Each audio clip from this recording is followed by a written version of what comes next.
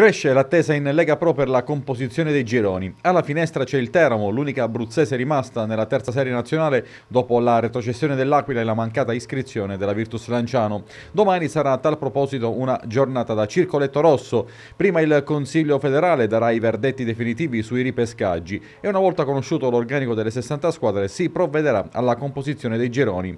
Della lista di pretendenti dovrebbero restare escluse dal ripescaggio Propatria, Lecco, Rieti e quasi certamente ovviamente Cavese, dentro tutte le altre. Le previsioni dicono che il Teramo farà parte del girone B anche quest'anno, ma la composizione del raggruppamento sarà diversa, visto che eh, girone A e B prenderanno il centro-nord che sarà diviso a metà, la parte ovest nel girone A, quella est nel girone B. Questo comporterebbe l'addio alle tante trasferte toscane fatte in questi anni dai biancorossi, ma anche l'inserimento nel girone di nobili decadute che punteranno al salto di categoria, come il Parma di Apolloni, il Venezia di Pippo Inzaghi, la Reggiana di Leonardo Colucci, per non parlare di Padova, Bassano e Pordenone, tutte iperattrezzate. E poi le quattro marchigiane, coi sempre sentiti confronti con Ancone e San Benedettese.